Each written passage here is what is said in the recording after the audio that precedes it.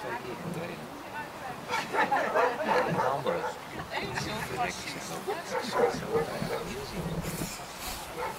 Dat was een onkoek, ja. Speuren. Speuren.